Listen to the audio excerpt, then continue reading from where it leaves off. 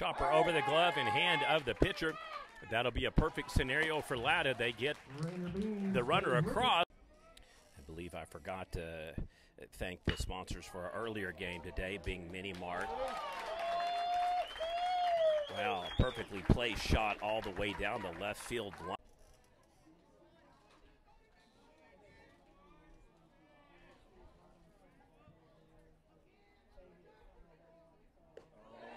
And ringing him up.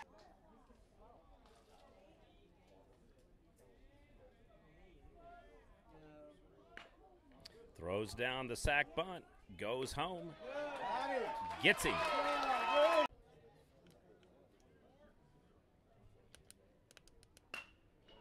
And that may break open the game.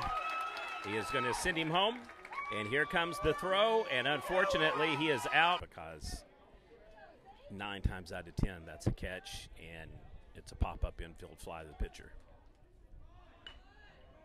Oh boy, perfectly executed and safe. So now you can open up the hitting and show bunt, throw bunt, hit, fly, whatever you want to do. Perfectly executed. Stays back to back. are Here potentially putting Zegan Stewart on the line for the loss now that he has inherited at a 0 0 game and given up the two runs. Oh, perfectly done, perfectly done, perfectly done, and then smoke. It's almost a pre-sale, folks. I mean, it is strong, strong, strong. Ball flies up in the air, and catcher loses position of the ball and can't find it.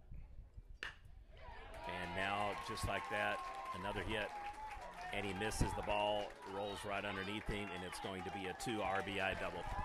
Panthers need a walk here or a hit.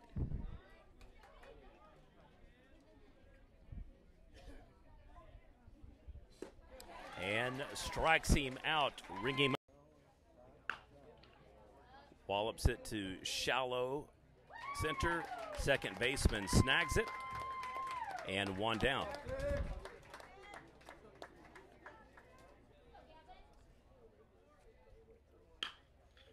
Hits to the shortstop, perfectly aligns for a 6 4 3 double play. Gets the six, misses the four.